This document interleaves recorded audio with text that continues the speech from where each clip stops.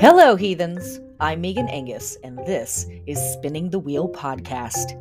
In this weekly audio ritual, we explore the eight seasons of the Witch's Wheel of the Year, and we discover how it is so much more than eight Sabbats. We weirding witches time travel through holy days, festivals, and celestial events connecting our celebrations and magic to the past, present, and future. Our cackling fills the night as we take our turn gathering the wool, wielding the distaff, and spinning the wheel.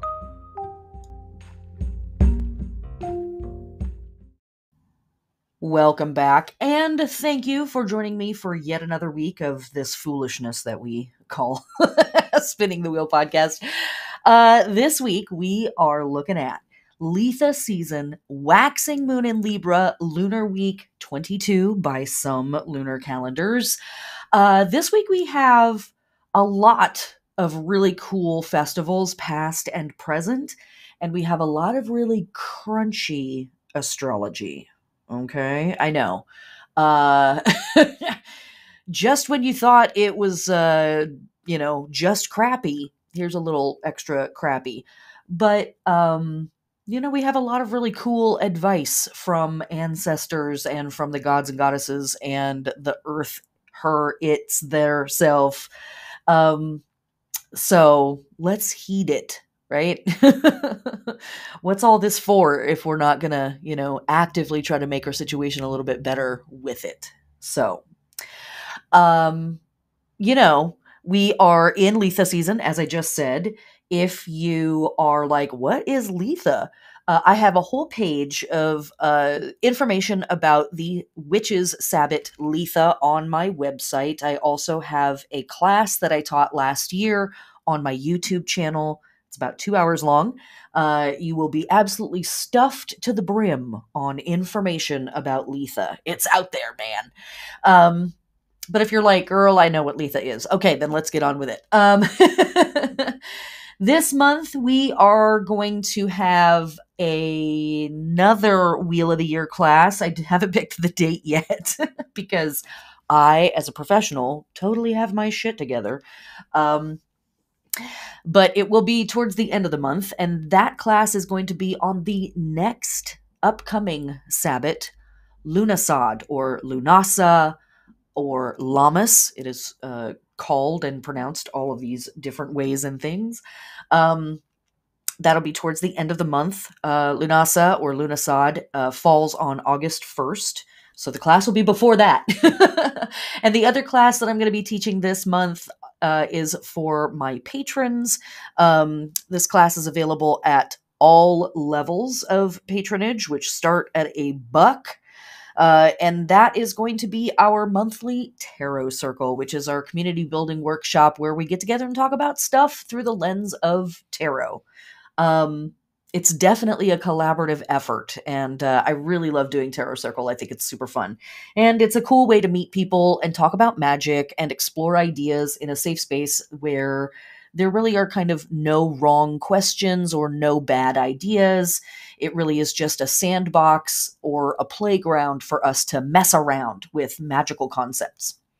Um, if you want to know more about all of this stuff as I said, you can head to my website and read about it.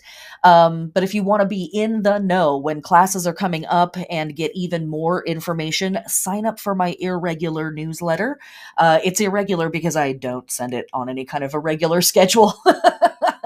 and if you want even more, sign up to my Patreon. Um, that is where I put a lot of my unpublished work uh, behind the scenes struggles um, and other things that I'm I'm not going to share with the public or I don't share with the public initially. You know, you have to wait a year before you can get it. Come and check it out. Um, also, if you want to support this podcast, please sign up to my Patreon. Um, so many thank yous to my patrons.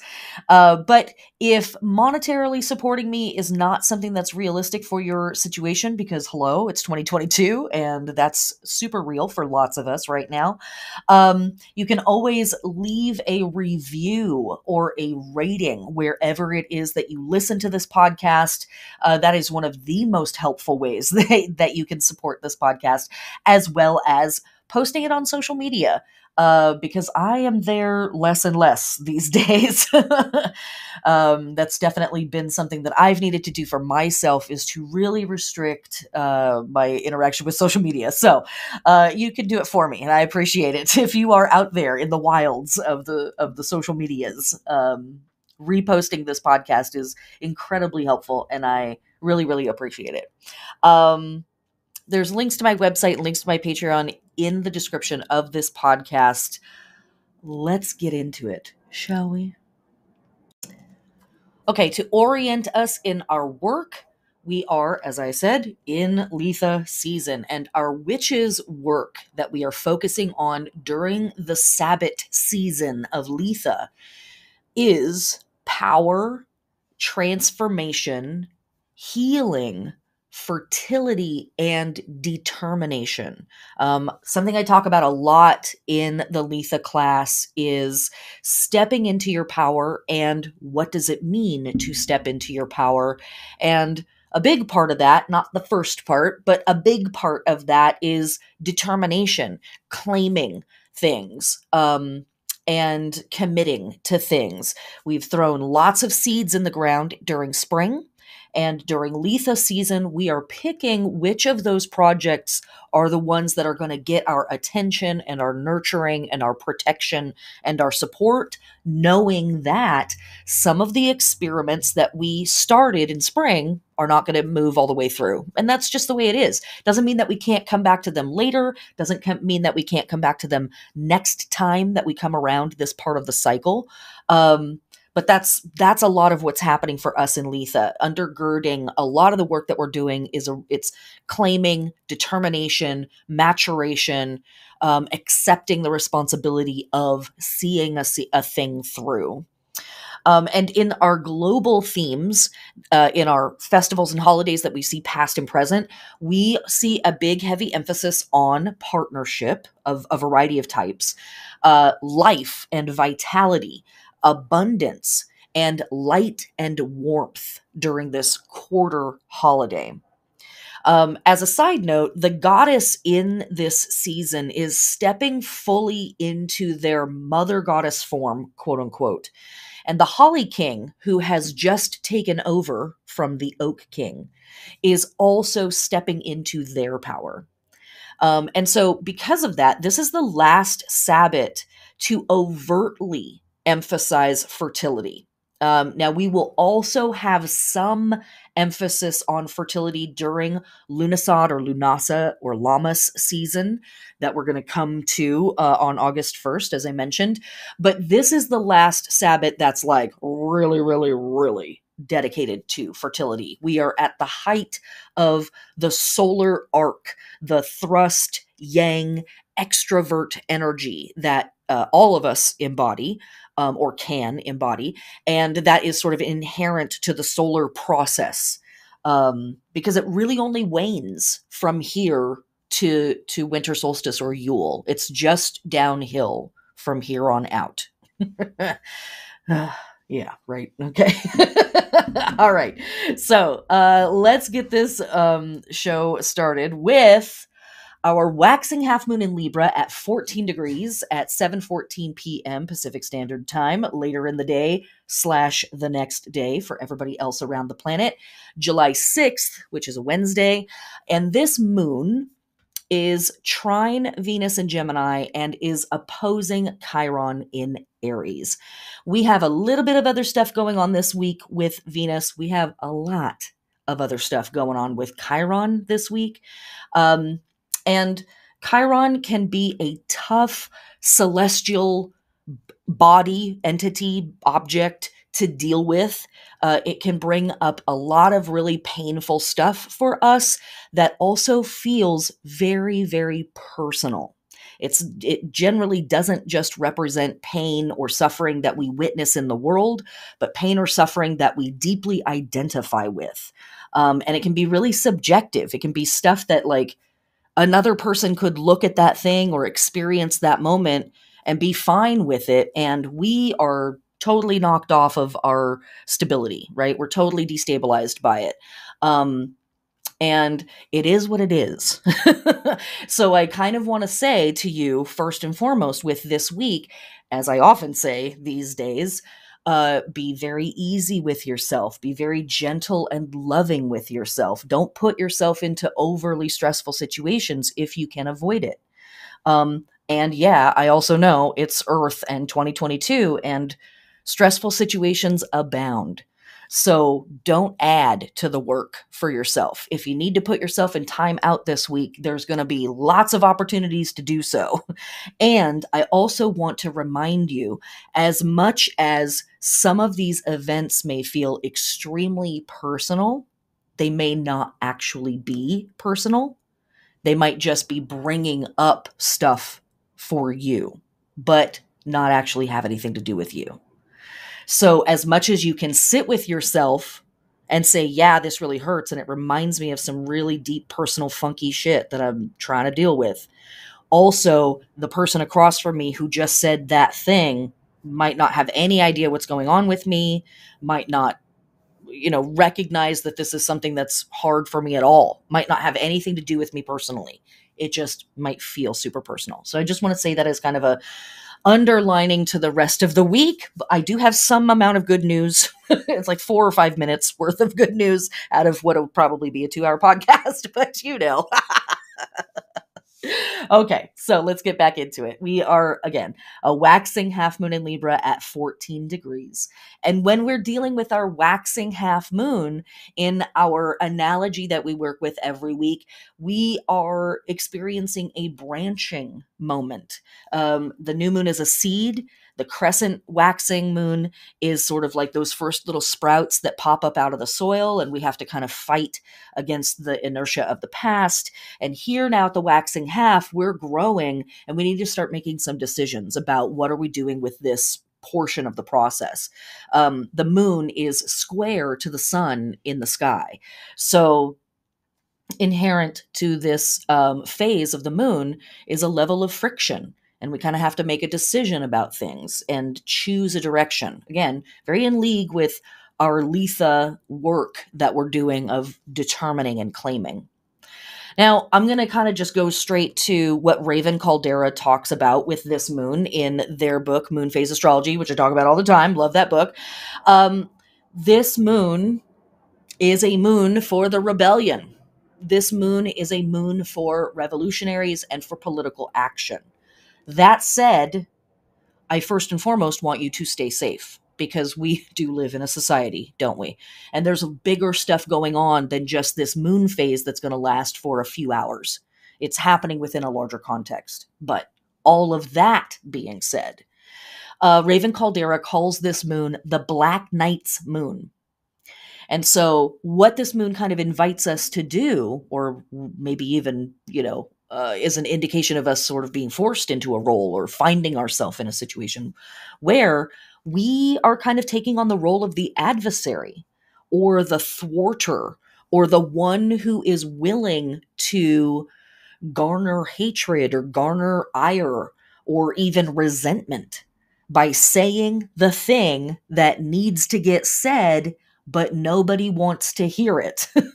so you might witness some experiences. You might be on the giving end or the receiving end of some situations where somebody is saying stuff that nobody wants to hear, but it totally needs to be said. Um, and the person who is speaking, the person who is, you know, bringing down the truth, um, might also be really expecting folks to eventually be grateful that that you know we were willing to be the bad guy and say the thing that nobody wanted to say. And then also right on the heels of that realizing that no people are resentful and they may stay resentful. They may even if they do the work they may never get to a point where they don't see you or the speaker or the instigator as the bad guy or the person who brought the destabilizing information. Um, and if it's us, or you know who are walking through this with somebody else the person who is doing this work might also be thinking are these people even worth this trouble? Which is a fair question to ask. Um, and that's a very subjective question right? Our, our answer to that question is going to be very very subjective. Um, and again you know realizing that that folks may stay mad even when they do the work. Um, and all of that experience can make us or whoever it is that we're witnessing go through this really resentful and really bitter about that whole process and thinking to ourselves like man this is why i don't stick my neck out for stuff. And so let me put that into the context of our political stuff that's happening around the world. This might be a week where you find yourself having evolved in your political understanding of the past the present and the potential futures and you are now saying a difficult truth to a friend, a coworker, a relative, the person that you drink a beer with at the bar after work. And they are like, man, I don't want to hear any bit of what you're having to say. It's because you're disturbing their paradigm.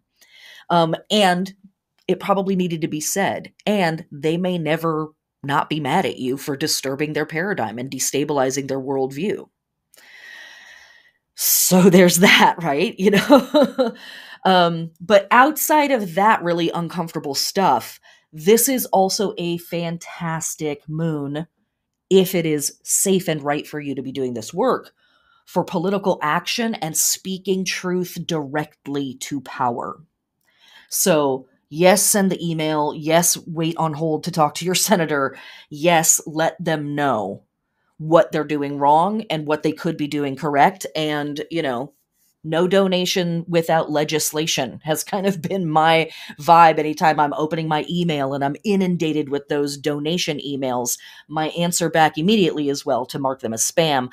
But then right after that is you guys have everything that you should need to get the work done and you're not getting it done. You're not getting anything else out of me until you get some work done and restore my faith as a citizen of this country.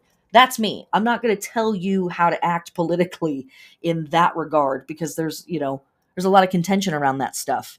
Um, but those types of things are also used against us. And we're going to see that in this week with our astrology as well. Okay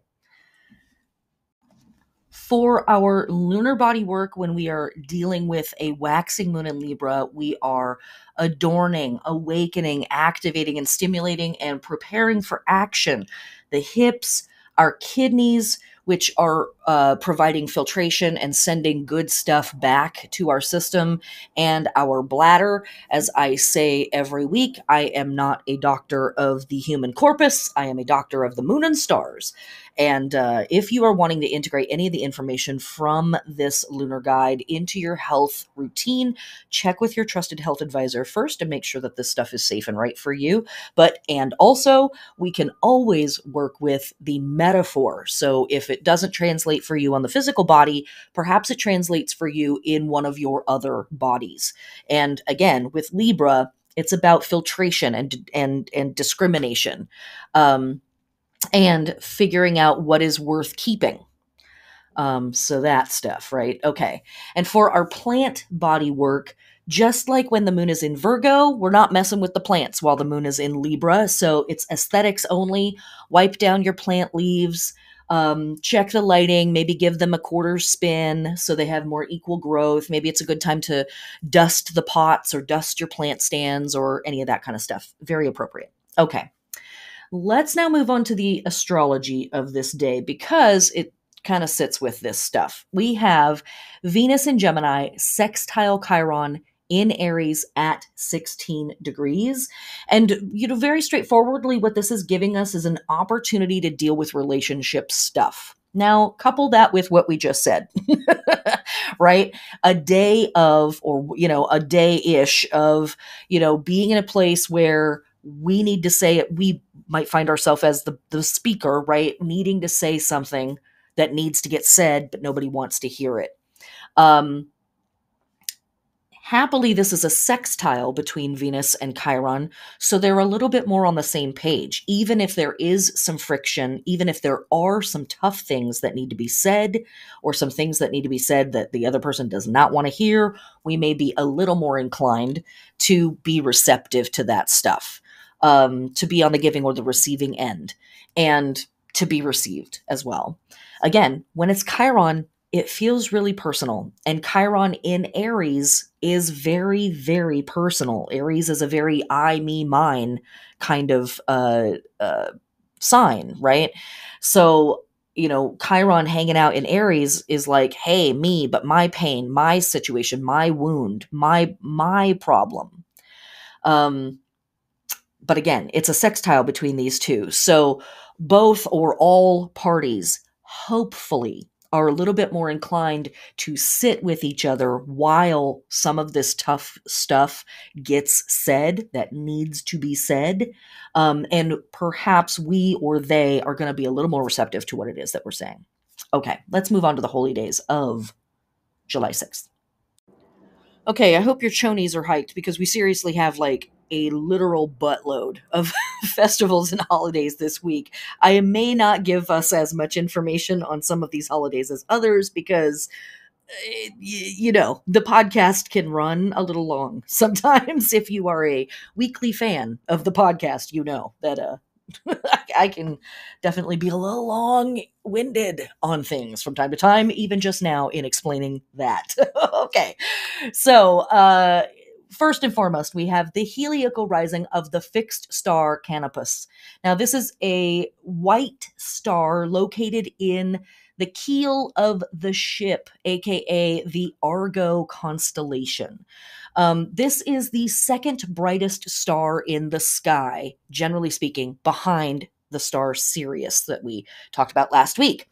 Um, the traditional name of Canopus is a Latin- Latinization of the ancient Greek name Canobos.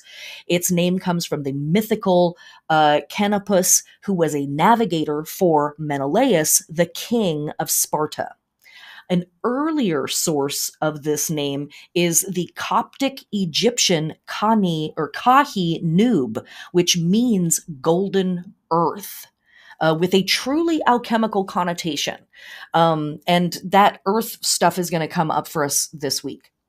Argo is the ship that carried Jason and the Argonauts in search of the Golden Fleece. So, inherent in the symbolism of this star is going on an adventure and fighting hard for something that you really want to achieve. But also, we are tapping directly in, kind of right here from the word go, with our ongoing Gemini slash Cancer imagery of maritime uh, action, mariners, and the ocean itself. The Hindus call this star Agastya, uh, one of their rishis or inspired sages, and the helmsman of their Arga, a son of Varuna, the goddess of the waters. And Sanskrit literature has many allusions to its heliacal rising in connection with certain religious ceremonies. In the Avesta, it is mentioned as pushing the waters forward. So perhaps this star is even thought of as governing the tides. Very, very interwoven with all of that mariner, maritime, oceanic imagery. In China, this star was referred to as Lao Jin, the old man, and it was an object of worship down to at least 100 uh, BCE. Also, on this day from our Slavic friends and ancestors, we have Kupala Night. Uh, Kupala Night is an Eastern Slavic equivalent to St. John's Day and midsummer celebrations in the rest of the world. Ivan Kupala Day is an ancient Slavic holiday that combines pagan fertility rites with St. John celebrations. As we know, in a lot of places in Eastern Europe, the Catholics rolled in and they were like, here's your new saint. And the Eastern, the Eastern Europeans were like, no, thank you. and the Catholics were like, yeah, let's not push on this. Let's just have them do whatever they do and we'll just call it the Saint Day and leave it at that. this combination is reflected in the holiday's name. The word Ivan is a Slavic variant of the name John, while Kupala is a deity in the Slavic mythology that embodies the summer solstice. On Kupala Day, young people lit bonfires and jumped over the flames. Girls picked flowers, made wreaths, and floated them on rivers, attempting to see the image of their promised husband in the waters within the wreath.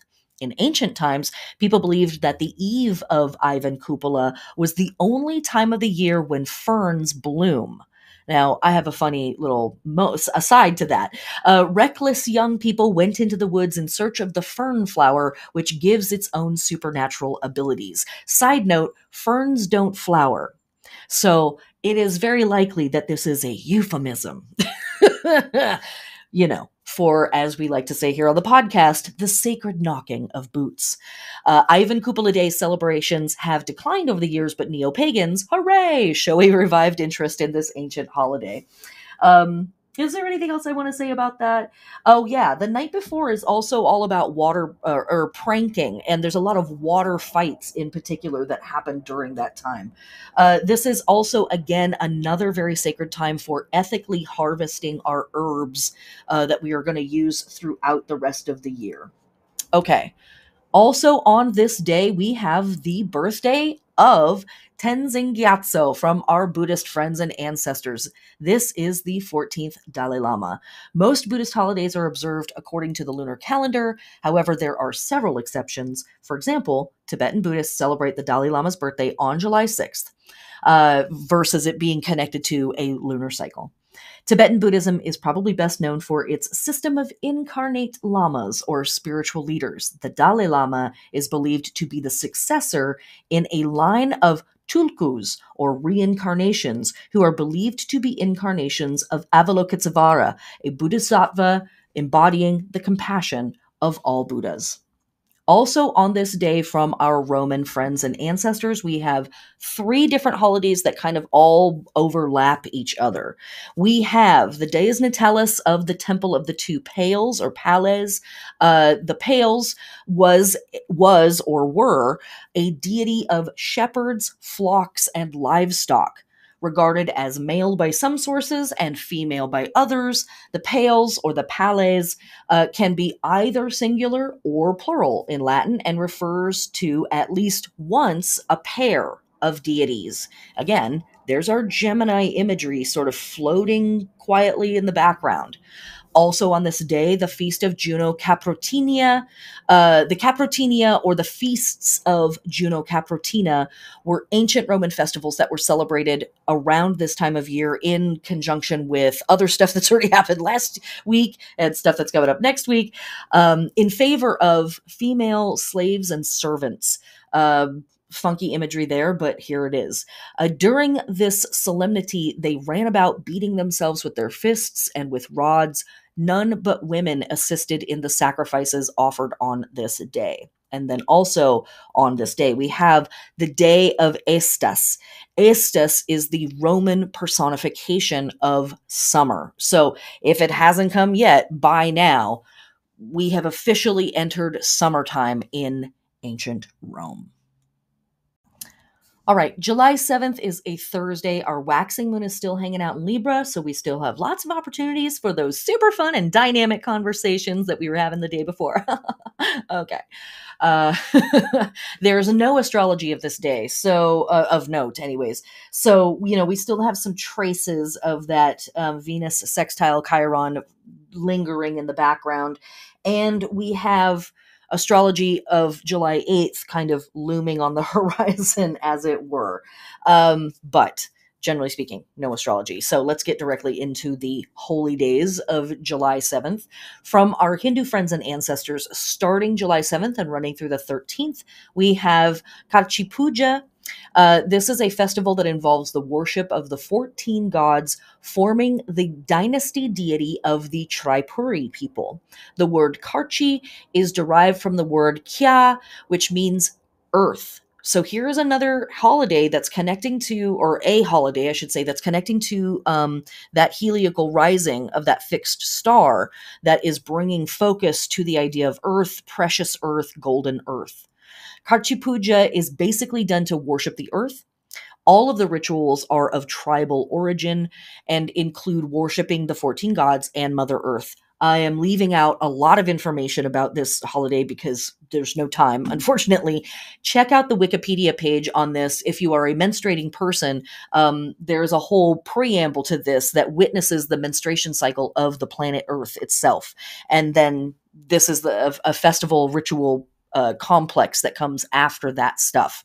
Uh, check other sources too.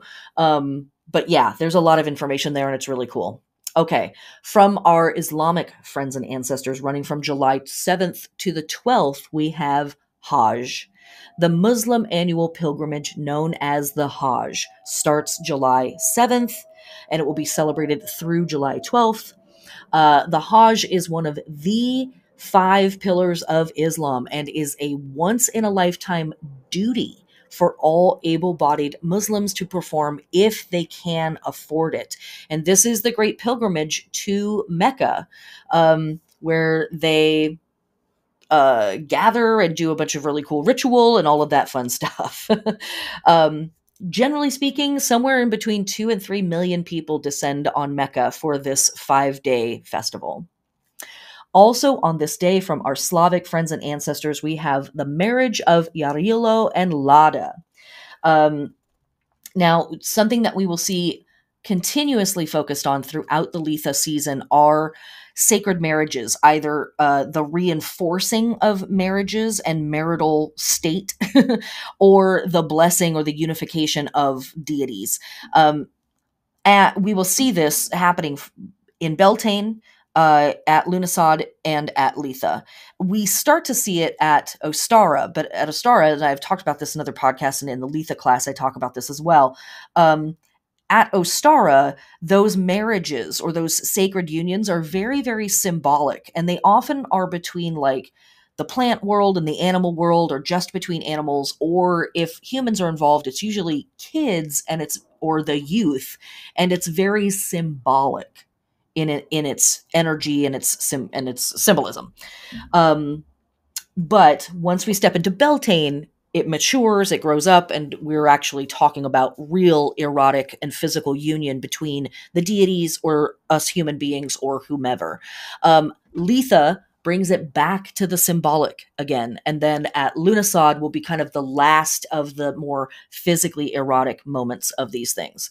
Um, Yarilo and Lada are both springtime deities, and uh, Yarilo is a vegetation god, Lada is a sun goddess, and uh, they both are very focused on fertility and abundance but they both will also turn into other deities around this time. And so this is sort of a, a, a speaking to something that a lot of modern Wiccans work with that idea that I kind of mentioned at the beginning of the podcast of our spring maiden version of the goddess evolving into the summertime mother version of the goddess this is reflected in uh, and Lada also changing shape at this time of year.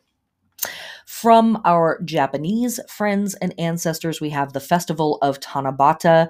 This is also known as the Star Festival, and it takes place on the seventh day of the seventh month of the year by some lunar calendars, when, according to a Chinese legend, the two stars Altair and Vega, which are usually separated from each other by the Milky Way, are able to meet again, a sacred symbolic marriage. One popular Tanabata custom is to write one's wishes on a piece of paper and hang that piece of paper on a specially erected bamboo tree in the hope that wishes come true. And I think we need to get as many wishes in the air as humanly possible right now. So I'm very in favor of this particular festival. Uh, and last but not least, for this day, from our Roman friends and ancestors, we have the Vitulatio. The Vitulatio was an annual Thanksgiving celebration in ancient Rome. The verb vitulari or vitulari meant to chant or recite a formula with a joyful intonation and rhythm. A goddess, Vitula, possibly an invention to explain the name, embodied joy or life, vitae, uh, vitality. Um, and again, we know that that's one of our big themes that we're focusing on at this time of year is life and vitality. All right, July 8th is a Friday, and our waxing moon enters Scorpio. Okay. All right, so look. listen, listen, listen. um, the general advice on this day for this lunar phase, I should say, is around considering power dynamics. And again, referring to Raven Kaldera, uh, their advice on this moon um, is to consider where uh, our own tendencies and behaviors that fall under the umbrella of revenge can get kind of stirred up. And that might make a lot of sense, especially after the really spicy conversations that you might have had for the last couple of days with the moon traveling through Libra and our other astrology that's like, hey, let's say stuff that nobody wants to hear and see what happens. Right. And so now, if somebody has said some things to you and destabilized you, or if maybe you said some things and destabilized somebody else, there might be a resentment thing right now and somebody wants to get back or we might want to get back at people we might feel like we um, need to lash out at power structures as well um, on this day and i'm going to kind of skip around here a little bit and talk about the astrology on this day that we also have the sun in cancer square chiron in aries and we have mercury in cancer squaring jupiter in aries uh, Sun, Chiron at 16 degrees, Mercury and Jupiter at 8 degrees. And both of these, all of these things feel like ouch. They feel like um, feeling trapped, feeling super defensive, feeling victimized. Um, we might be really eager to jump to conclusions on this day, um, all of that stuff. So, again, this is one of those days where I'm going to encourage you to take care of yourself, be gentle with yourself. Uh, put yourself in time out if you need to. If you can avoid a stressful situation on this day, it might be the the path of peace is what is recommended here. Um, you know, that kind of stuff, right? And there might also be an urge in us at the same time to go get right up in the face of the thing or the person that we feel is agitating us and give them a what for, right? Like enact our revenge or or show them, you know, I'm not the one to mess with or this is the situation that you shouldn't have messed with. And I'm not gonna tell you how to live, but uh, yeah, right? Like, like, don't we all have enough trauma and drama on our plate as it is? Do we really need to evoke more from our situation and our universe? Of course, I'm always going to stand behind you and and uh, or beside you, really, and encourage you to speak truth to power, um, to you know, not back down. Um, if somebody is doing something wrong to you and needs to hear the truth, and you're the one to say it, then go for it. But again with Chiron all up in the mix, it can feel extremely personal. It can feel extremely like I'm being attacked by the universe. This whole situation is coming to get me. And again, remembering that we've got Mercury square Jupiter in the background, really encouraging us to jump to conclusions like I said at the beginning of the podcast, when we have that chironic influence and it feels so, so, so personal, it can be really difficult to see through the haze of that and to understand I'm having a personal experience, but this situation is not necessarily about me. It's just happening. And that is really difficult to keep those things separate. So, just I'm with you in this. I have a variety of stressful experiences happening on July 8th and I was like, "Well, look at that astrology. I hate astrology forever now. This is stupid. I don't want to do this anymore." so, but and um you know, if, if that's the work that presents itself, okay, good luck you know do it in a, in as much of a form as is healthy and safe for you and back away from it when it's like this is too much i'm done but also, but and also, I want you to think about where you have been taught to cling to something that is actually bad for you because you have been taught that the alternative is worse. Is it? Where do we insert justification for terrible things because we are afraid of the road not taken? This is a day, again, that can feel very, very personal in its effects.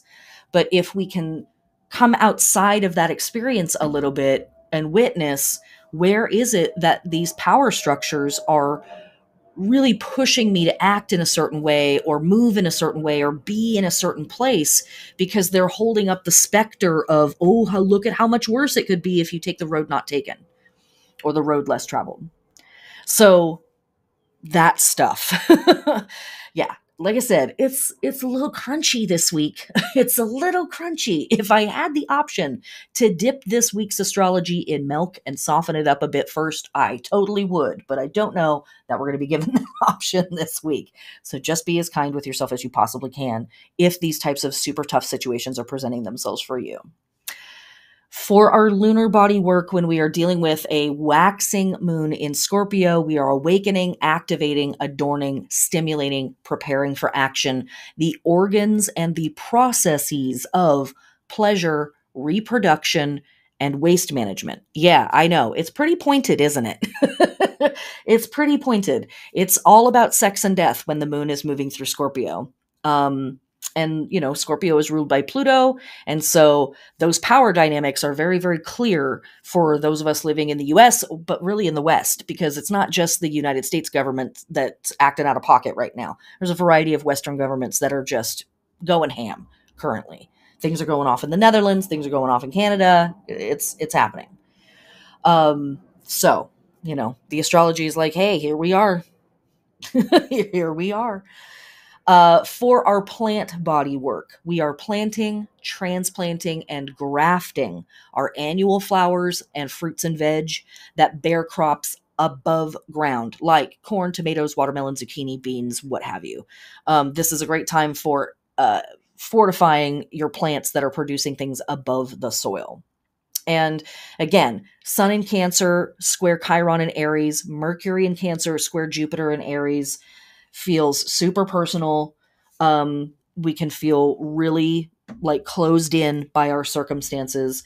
So what I recommend for this stuff is a, let me say this, the sun square chiron is happening at like 6:30 in the morning Pacific Standard Time and then uh, the Mar, excuse me, Mercury square Jupiter is much later in the day. It's 11 o'clock at night Pacific t- Pacific time. Um, if we're seeing this stuff play out in the world, this might be a lot of seeing people struggle against their sacred wound. Um, we might be seeing some really wild information come to the surface, but that information might be disinformation. So we might be really getting hit with propaganda on this day. Think about again our lunar work of like, where have you been taught to believe a thing or to buy into a thing because you've been taught that the the alternative is even worse. And can we make some space to question that today? Um, if anything is here to help us, be anytime we're dealing with Chiron, it's a great time for therapy. So it's a great time for therapy, group therapy, talk therapy, anything, even if it's just like doing body therapy and working with your vagus nerve or whatever it is to kind of cool the fight flight responses as this stuff is coming at us. Um, ground in yourself and come into your personhood um, and put your feet on the ground and breathe into the space that you are in in that moment. Um, and, you know, the help that we can get from Mercury square Jupiter uh, can be a really fantastic day uh, to get professional stuff done.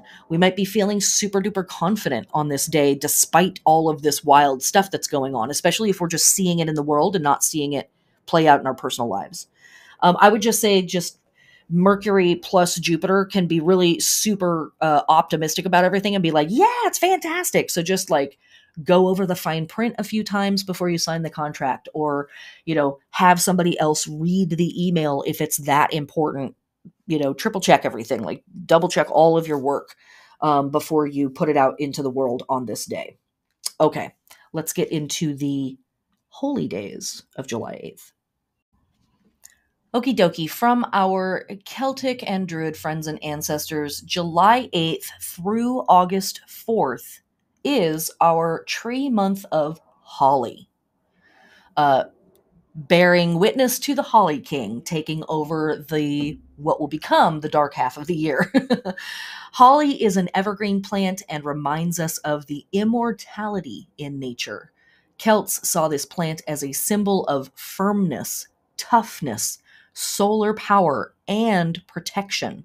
The wood was used for weapons, and a sprig of holly in the house ensures good luck and safety. You can also wear it as a charm. You can also make holly water by soaking holly leaves in water and charging it under the upcoming full moon, which is uh, at the end of this week, actually. um, use the water to bless people and your home for protection and for cleansing, but do not use this with pets. It can be toxic for pets. So don't put this in places where your pets are going to uh, encounter it. Like I wouldn't use it as a floor wash, for example. Okay. Also, on this day from our Islamic friends and ancestors, running from July 8th to the 9th, we have Waqf al Arafah. Uh, this day commemorates the final sermon of Muhammad, which the Prophet gave in his final year of life. It's the second day of the Hajj, which is, of course, as we talked about, the annual pilgrimage to Mecca. From our Norwegian friends and ancestors, we have the Feast of Suniva. Uh, this is a Sunniva feast day in Norway, and currently Suniva is referred to as Saint Suniva. She is a patroness saint of uh, one of the dioceses that makes up the Church of Norway, as well as all of Western Norway. But of course, Sunniva is actually the sun personified. Um, the name Sunniva is used to refer to the solar goddess in German mythology. Um, and what I think is really interesting is one of the two Merseburg incantations uh, recorded in Old High German is a horse cure, mentioning Suna or Suniva with her sisters singing chants over Balder's wounded horse and curing it. Scholars have proposed that Sol, as a goddess, may represent an extension of an earlier Proto Indo European deity due to Indo European linguistic connections between the Norse Sol, the Sanskrit Surya, the common Brittonic Sulis, Lithuanian Sole, Latin Sol, and the Slavic Tsar Solnitsa. So, all of these solar goddesses being worshipped through the feast of Suniva. And also on this day, from our Yoruban friends and ancestors, we have the feast of Elegba Bara. Um, Elegba or Elegba is also Elegwa, Legba. Uh, this is the road opener.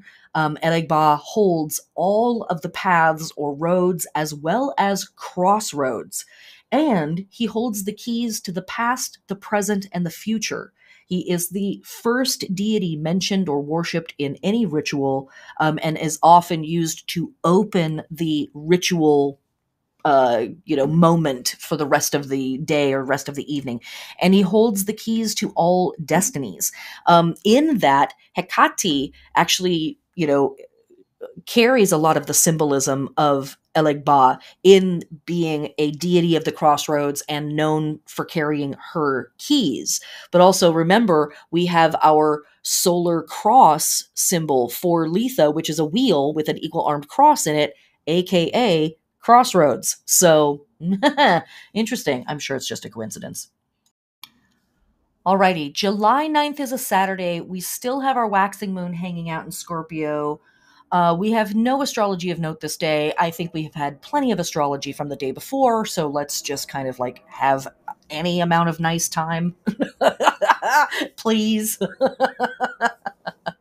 and we only have a couple of holy days for this day, so let's just get right into it.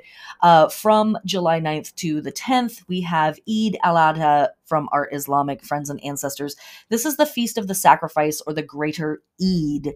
Um, and this is sort of the beginning of the end of the Hajj. Um, and this is uh, one of the most significant festivals in Islam. This holiday is related to a biblical story known in Islamic tradition as the Binding of Ishmael.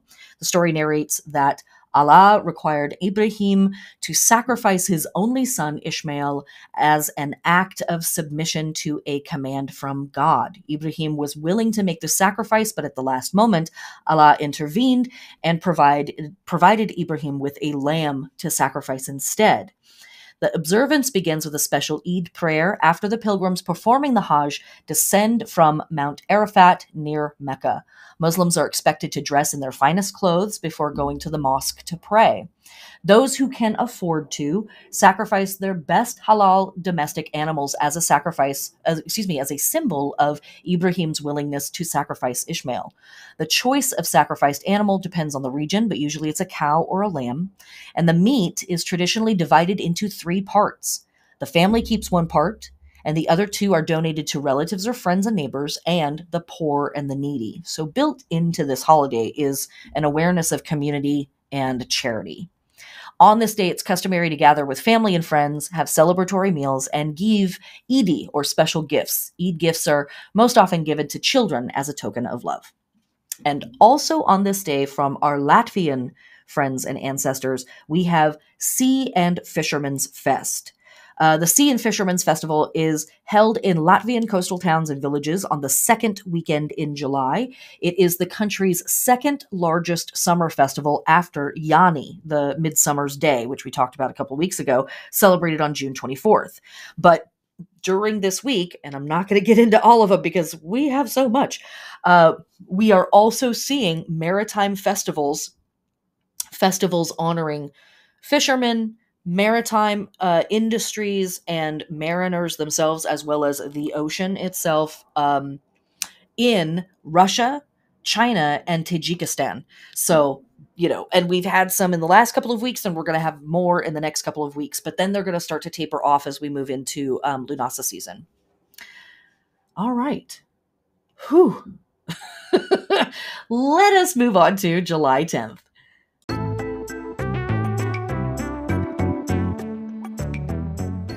But before that, how about an ad? Okay. Uh, um, if you love this podcast, you can support this work through Patreon. Thank you a bajillion billion times. See, the, the sirens are going off even as I say it.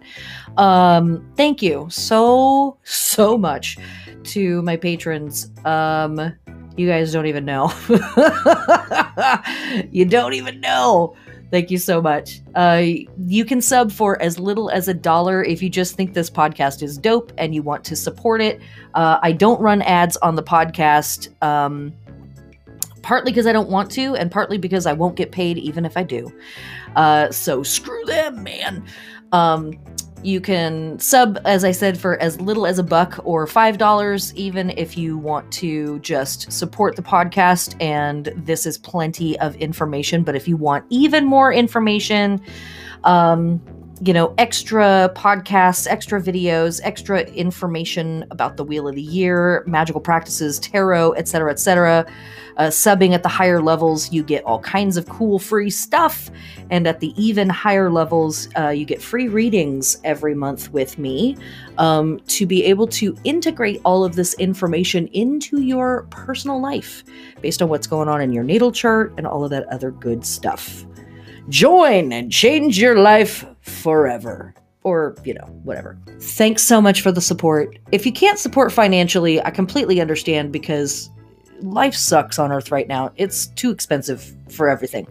Um, tell a friend, share it on social media, uh, give it a thumbs up. If you're feeling especially hedonistic, you can leave a rating or a review. All right, that's the end of the ad. Let's get back to the podcast.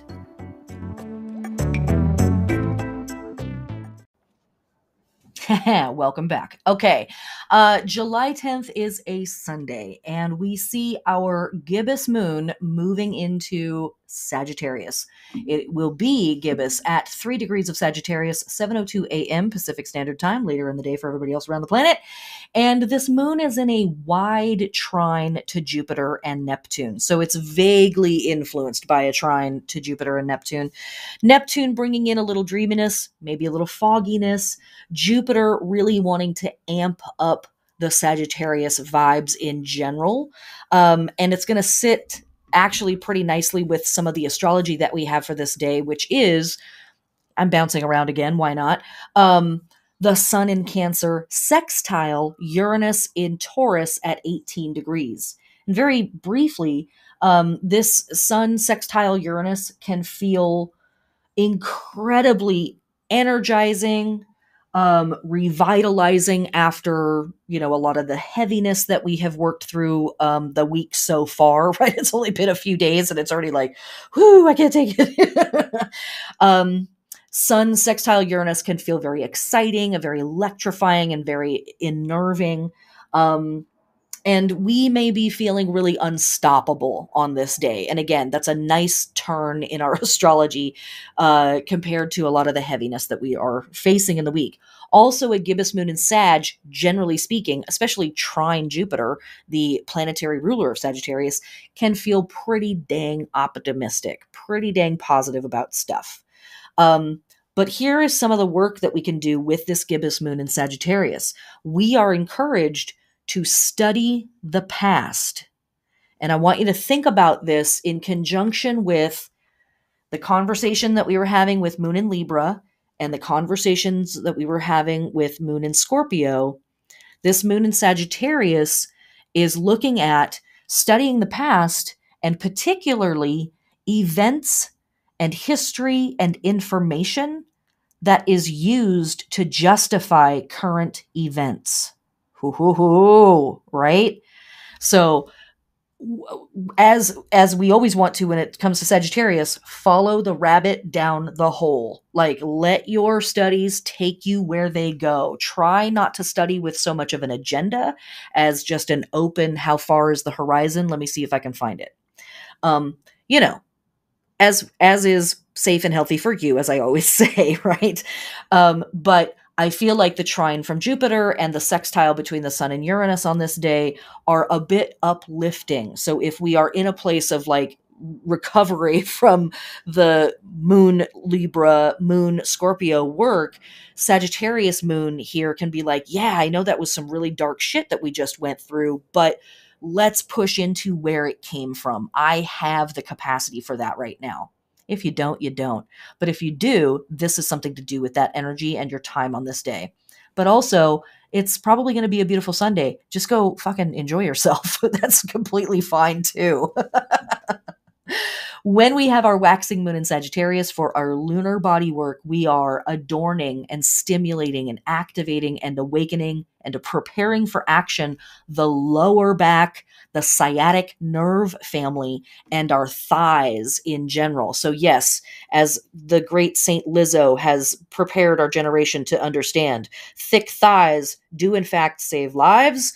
Uh, this is a day for celebrating that business. Um, and again, if the body, the physical metaphor doesn't work with you, you can work with that metaphor in any of your other bodies your emotional, spiritual, psychological, what have you.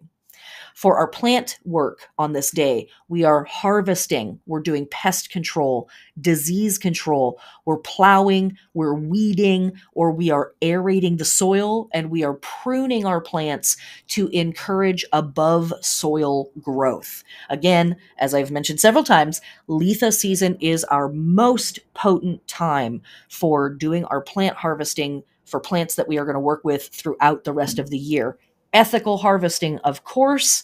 Um, you know, harvesting invasive species first and foremost, because there's probably plenty of it, all of that stuff. Um, but yeah, uh, getting in there and and getting that kind of work done. Okay. Moving on to the holy days of July 10th, we only have two technically, and they're both heliacal risings. We don't actually have any other festival days on this day, and that's kind of a rarity, so enjoy. This truly can be a day all just for you. Wild because Sagittarius and, and Jupiter are very dedicated to the gods, right? They're very about the gods. Um, but let's talk about it. Okay, so we have the heliacal rising of the fixed star Propus. Um, this is a small star situated between the the shoulders of the twins uh, Gemini, the Gemini constellation. The traditional name Propus is from a Latin word that implies close. It symbolizes companionship, friendship, um, and it is clearly influenced by either Greek or Babylonian mythology. Um, Astrology King, uh, who I love for his or their information about fixed stars um, says this we should read into this star the qualities of cooperation, of two heads being better than one and of associative thinking.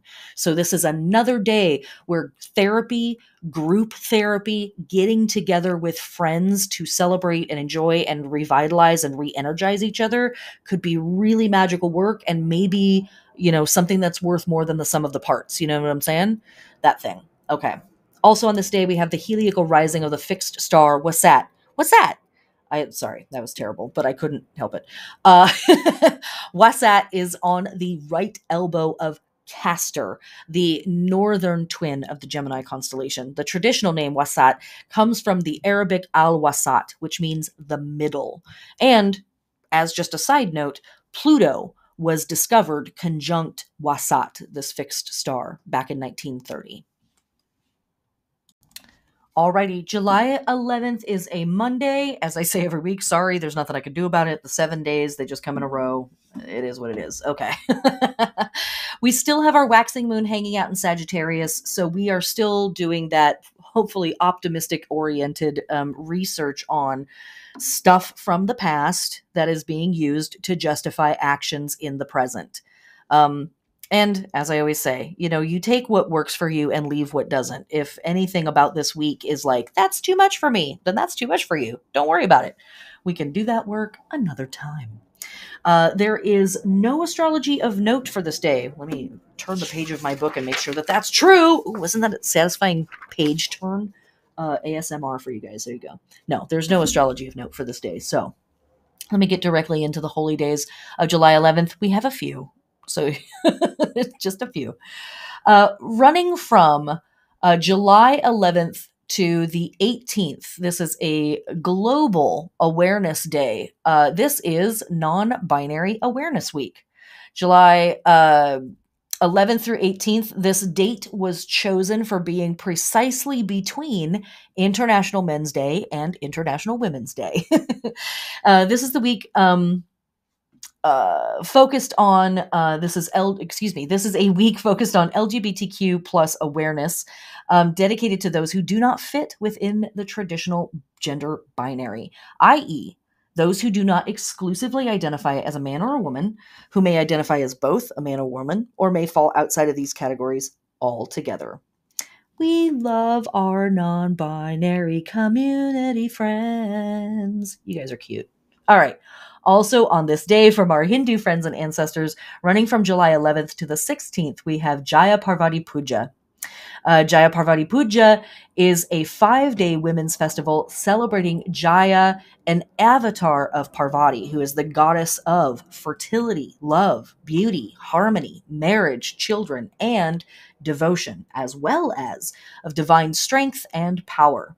She's known by many other names, um, she's gentle and nurturing um, and is a form of the supreme goddess and one of the central deities in the goddess oriented Shakti sect called Shaktism.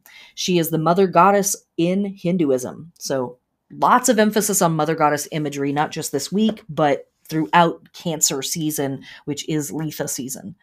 Um, this festival is for unmarried women looking for a partner and for married women to give prayers for health and protection and long life for their partner.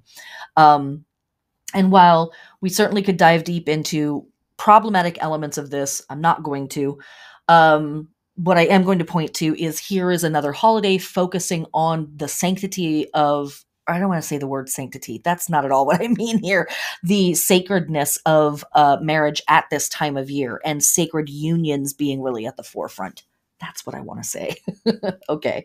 Uh, running from July 11th through the 13th, from our Mongolian friends and ancestors, we have Naadam. Naadam is a traditional three day midsummer celebration, which is celebrated as a public holiday. It was included in the UNESCO representative list of the intangible cultural heritage of humanity festivals, uh, which is something that UNESCO is doing around the world really cool, actually. Um, and this festival includes a bunch of really cool stuff, but specifically three sporting competitions archery, horse racing, and Mongolian wrestling, collectively known as the three games of men or the three manly skills. But recently, women have started to participate in the horse racing and the archery games.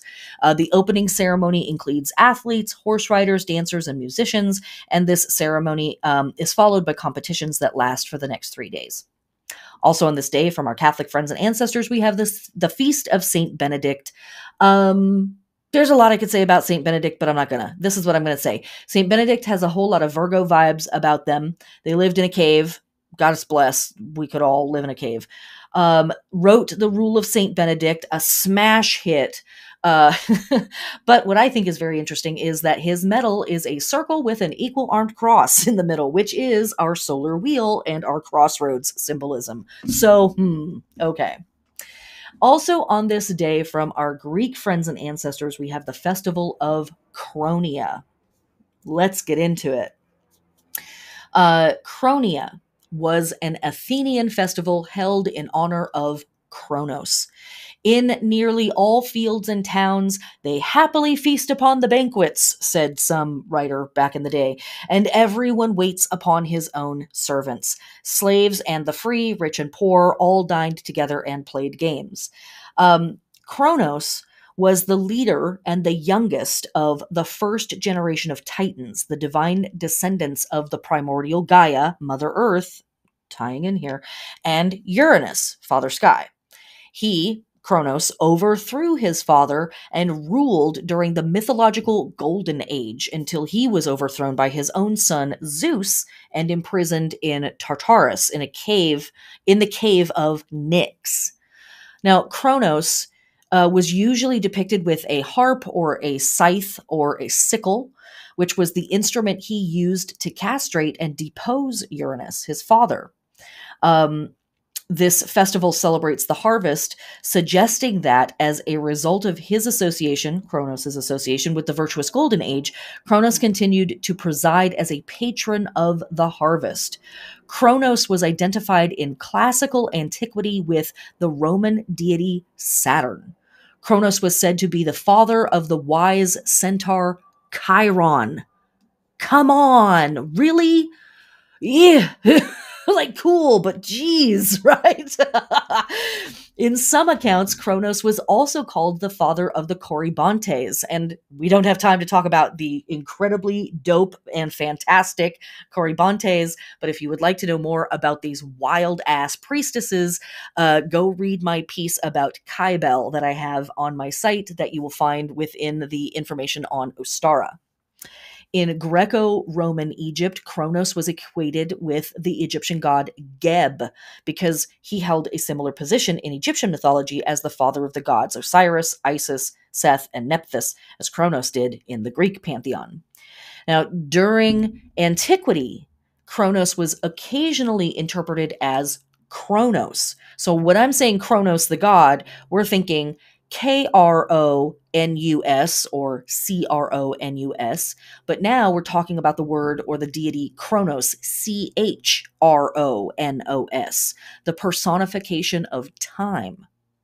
The Greek name Kronos is synonymous to Chronos, time, since he maintains the course and cycles of the seasons and the periods of time, whereas the Latin name Saturn denotes that he is saturated with years since he was devouring his sons, which implies that time devours the ages.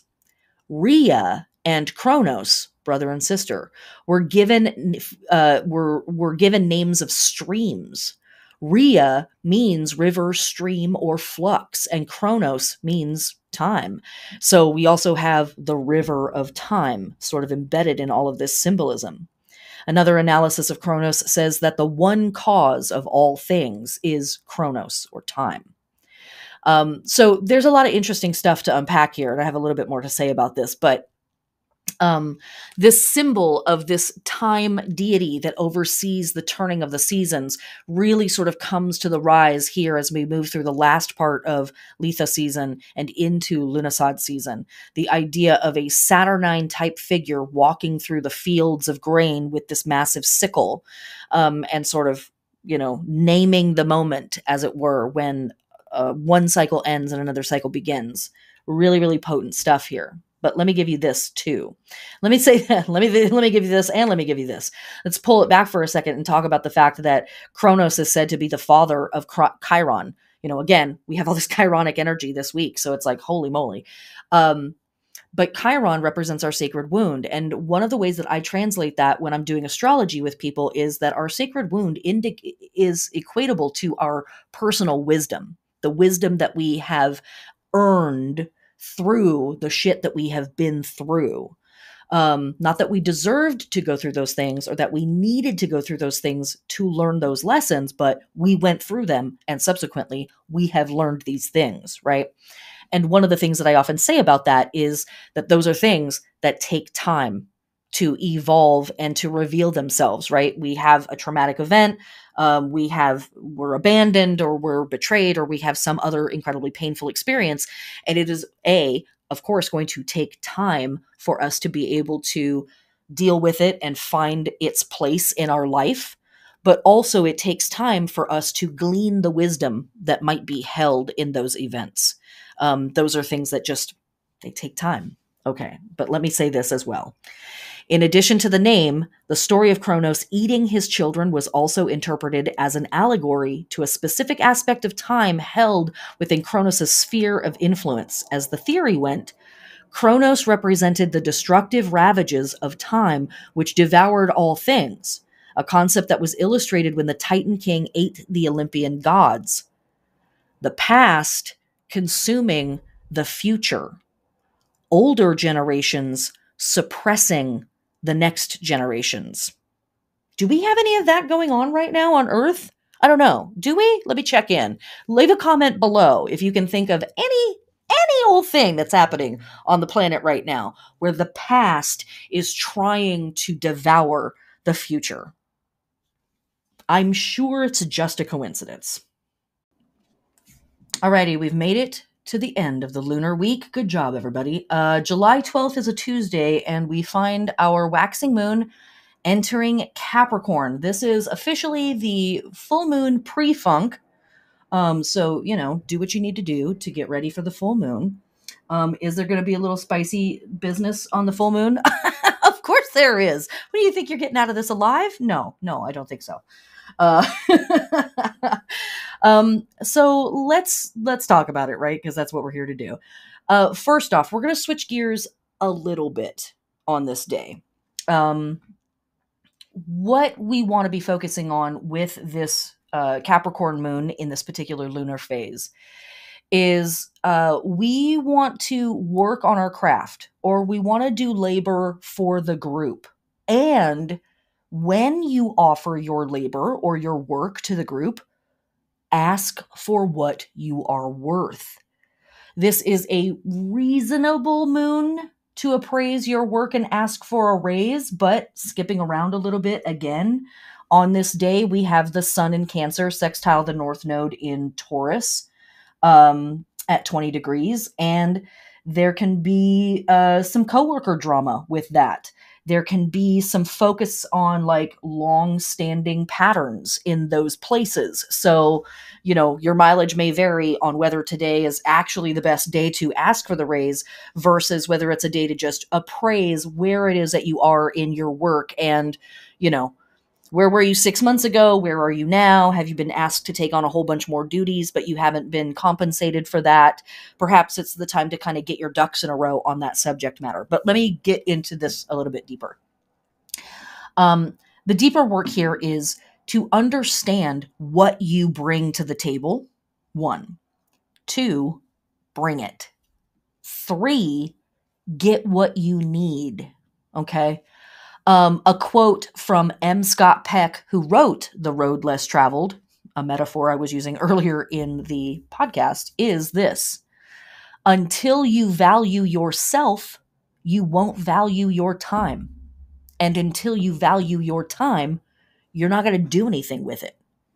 And this sits very tightly with our Litha season work in general, which is a lot of coming into understanding that you are, in fact, a badass, that you are, in fact, a powerful person with amazing skill sets and you're here, you know, first and foremost for your own pleasure and harmony and loveliness, but secondly to help the group.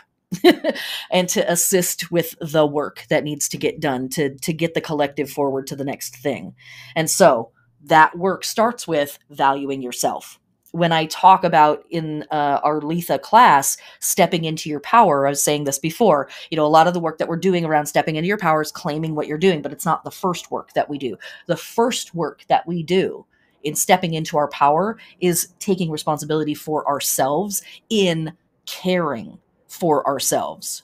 Because if we have not filled our cup, we can't pour it out for other people. And this quote here and this idea of this waxing moon in Capricorn is this same thing. You have to understand what you are and what you have and learn to appreciate it before you're really going to step into utilizing it for your best benefit and for the best benefit of the people that are around you just that right? No big deal. No no pressure there especially after this really super fun week of like lots of hard conversations and diving into like power structures that are manipulating us into doing this that and the other thing right?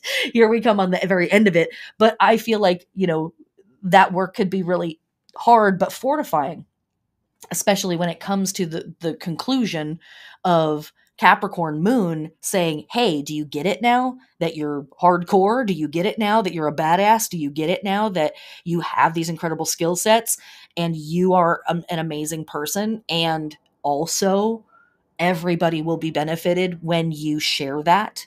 And also, you absolutely deserve to be compensated for the incredible things that you bring to the group. All of this stuff. Um, so that that stuff Okay. When we have our moon waxing in Capricorn for our lunar body work, we are adorning, stimulating, preparing for action the bones, the hair, the nails, the teeth. So you better goddamn believe it. The mani pedi is a holy act this week. Uh, the deep conditioner that we leave on for an hour, that's a holy act this week. The $80 bottle of lotion, that's a holy act this week. the bling having some diamonds and some some some bling added to the teeth, that's a holy act this week. 100%. Do it. Do it. um, and for our plant body work, we are maintaining our containers, our borders, our fences, our gardening beds, our structures. So if you have outdoor areas and you have a fence, this is a great time to go mend your fence and check your boundaries, check your borders. Um, if you have a plant that is in a pot that and the pot is failing this is a great week for transplanting it and repairing that pot or putting it into a pot that is better suited for that plant um, okay, so let's come back to the astrology of this day. We have Sun in Cancer sextile the North Node in Taurus at 20 degrees. We have Mercury in Cancer square Chiron in Aries at 16 degrees. Yeah, more Chiron. I told you. And we have Venus in Gemini trine Saturn retrograde in Aquarius at 24 degrees. And what do I want to say about this stuff? Like I said, with um, Sun sextile North Node, there can be stress and bizarre stuff that comes up at work, coworker drama. It might just be things that you are witnessing, um, or it might be something that you're experiencing if you've got planets near these degrees, um, especially in any of the fixed signs. Um, or I guess, uh, or the cardinal signs too, for that matter. Um, but what really might be coming out are, um, you know, patterns and systems that that are long standing and that need to be addressed and need to be rectified in some way. Again, today might be, not be the day that we do that work. It might be the day that we're gathering information and kind of getting our ducks in a row, getting our evidence collected on on that stuff. Um, with Mercury squaring Chiron, you know, it's uh, it's tough. This is a day where I'm going to say, if you need mental health support, go get it um, again, group therapy, um, doing your five, four, three, two, one check ins, uh, grounding yourself in the present moment, remembering to tell your brain, hey, it's okay. We don't have to solve it all right now. uh, checking around and making sure that you are not in physical danger and trying to transmit that that message to your body and to your mind. Like we're okay in this moment, everything's okay. But Mo- Mercury square Chiron is mental stress, it's mental pa- anguish, it's mental pain. So again, if you need to put yourself in timeout, go for a walk, do some deep breathing, take care of yourself if you need to. And i've and i've said this a lot in this season but it really is the truth kind of with a lot of the astrology throughout this year. If you need to ramp it back a little bit if you need to downshift or downgrade what you're doing take a couple of events off the calendar simplify your offerings to the world do it.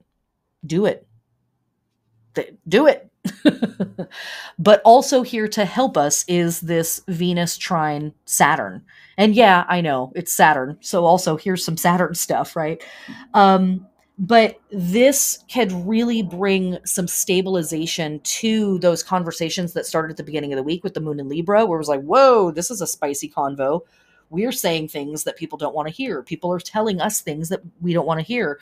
Um, uh, this Venus trine Saturn is like, okay, I can I can actually hear this now. Um, I understand where you're coming from. Let's continue with this conversation. I needed to take a couple days off, but now I'm back. Um, can we continue with that conversation, please? And it can feel um, much more stable and much more productive.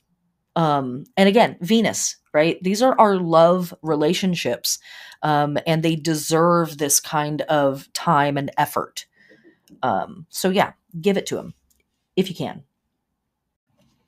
All right, holy days for July 12th. We just have a few. Uh, starting us off, we have the heliacal rising of the fixed star Castor, as in, yes, Castor and Pollux. Yes, Gemini. Wait, what? We're most of the way through Cancer season in Western astrology. In sidereal astrology, we are just making our way through Gemini, as we talk about quite often. Um, this is a complex uh, multiple star system made up of six individual stars that just all look like they are one star located in the head of the northern twin of the Gemini constellation. Castor and Pollux were the two gods of Sparta in Greece. Remember at the beginning of the week that we dealt with um, whoever it was, Canopus, the the star connected to the um, navigator for King Menelaus, king of Sparta. Um, so these are the two gods of Sparta and Greece. Uh, they were the sons of Leda, the queen of Sparta. Um, they were the D- the Greek Dioscuri, the Didymi, the Roman Gemini or Gemini. Uh, their Roman equivalents are Apollo and Hercules. Pollux or Hercules comes from the Greek Polydeuces. Uh, hence, he was the boxer, which I love it because it sounds like um, put up your dukes, Polydeuces. Pollux was the immortal twin and a skilled horseman. Castor was the mortal twin, famous for his skill in taming and managing horses. When Castor was killed in battle, Pollux asked his father, Zeus, aka Jupiter, that he die to forever be with Castor. Zeus killed Pollux with a bolt of lightning and placed the twins in heaven as the constellation of Gemini. And for those who have been following along with the channel, um, you'll know or you'll remember that lightning at the top of the masts of ships were referred to as Leda or Castor and Pollux. Um, in India, they are Ashwini or the Ashwins or the horsemen. So, again, the horse imagery abounds through this season. Running from July 12th through August 23rd, we have the Delta Aquarids meteor showers. Um, this is a pretty good meteor shower, and the peak of it falls around July 29th every year. And this year, we are lucking out because we are having a new moon on July 28th. So um, it is going to be a fantastic time for um, star watching. If you have any chance to get out of uh, and out of the city or away from your or nearby light pollution and go stare at the stars all night. This is a fantastic meteor shower for doing just that. And from our Hopi friends and ancestors, we have the Niman Kachina dances. This is in accordance with the Hopi calendar. Uh, Niman takes place shortly after the summer solstice as we move from Kachina season to non Kachina season. This is also called the going home of the Kachinas. Niman is a ceremony to say goodbye to the winter and spring Kachinas, Kachinas. Excuse me. During this beautiful last ceremony of the Kachina season, Katsinam bring the first harvest of the season to the villagers as well as presents for the children. This festival includes feasting and a ceremonial performance by masked dancers representing the Katsinam who are now leaving the village to return to the spirit world in the San Francisco peaks for the rest of the year. Dancers carry musical instruments, the first green corn stalks of the harvest, and sacred meal, which is sprinkled on the katsinam as a thank you for the summer harvest to come. Priests carry a water bowl and a ceremonial pipe. Smoke from the pipe symbolizes clouds, and water from the bowl is flung with a feather, symbolizing the rain that will nourish the crops. And that, my friends, is our lunar week let's head into the roundup. All right, if you didn't notice, let me point out to you that our lunar phases move from the sign of Libra to the sign of Capricorn. These are cardinal signs, and they are still helping us open up and initiate the big over season of summer itself. For our astrology this week, Wednesday the 6th, we have our waxing half moon in Libra. We also have Venus in Gemini, sextile Chiron and Aries at 16 degrees. Skipping to Friday the 8th, we have our moon in Scorpio. We have the sun in Cancer, square Chiron and Aries at 16 degrees. And we also have Mercury in Cancer, square Air, uh, Jupiter in Aries at 8 degrees. Uh, skipping to the 10th, we have our moon entering Sagittarius. That's our gibbous moon. We have the sun in Cancer, sextile Uranus in Taurus at 18 degrees. And then on Monday the 11th, no, nothing. I'm full of lies. Uh, the 12th, we have the moon moving into Capricorn. And then we have the sun in Cancer, sextile the North Node in Taurus at 20 degrees. We have Mercury in Cancer, square Chiron in Aries at 16 degrees. And Venus in Gemini, trine Saturn retrograde in Aquarius at 24 degrees. Thanks for so, thank you so much for being with me this week um, and all the weeks. Um, again you mm-hmm. know i've said it a million times in this in this recording but i i do really want to stress like be gentle with yourself this week. There are so many opportunities to have something happen that hits you in a very very personal way whether it actually has anything to do with you or not. And that type of stuff can push us into a place where we feel very defensive.